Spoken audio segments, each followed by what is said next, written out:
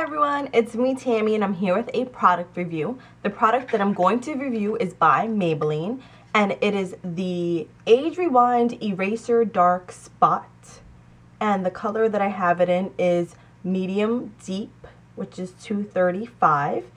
It says it's a concealer plus treatment with vitamin C.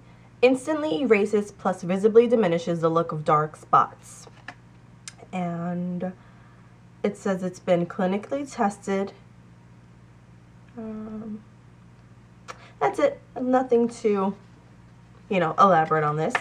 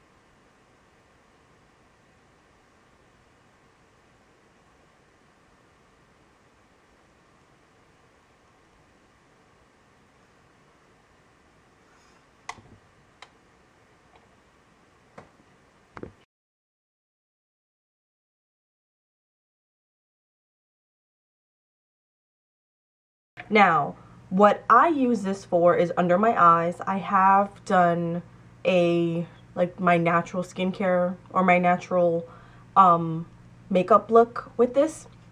I love this for under my eyes. I think it is absolutely amazing.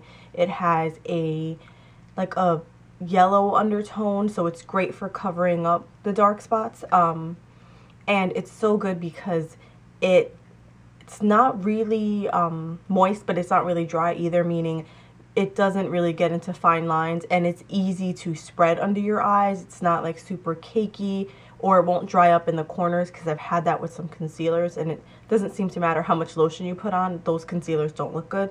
This always, always looks good. Like I can apply a few layers of this because sometimes I go a little overboard um, and it still looks amazing. And this stays on all day long. 8, 9, 10, 11 hours later, it's still on and it looks perfect. It doesn't, like I said, doesn't get into creases. It doesn't fade, nothing like that.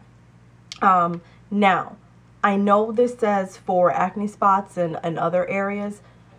This may work for some people. For me, it doesn't work. One, it's not a good color match for my face itself. It's great for under my eyes, but face itself, it just, it stands out too much because it's like a shade too light. Um, but I did actually try using it on my acne scars to see if it would do as good of a job on my acne scars as it does under my eyes.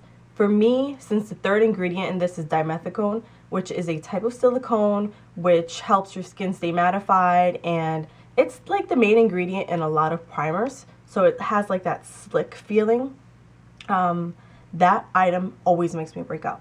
So I should have known better than to use it but I used it on an acne uh, or on a pimple and my pimple was so just angry. It was so, so mad. Like it got really irritated and I was just mad at myself for using it because the pimple was almost gone and it's like I just, I made it worse. So for me, I wouldn't use this, especially if your skin is sensitive. Do not use this on pimples. It's, no, your skin's not going to like you.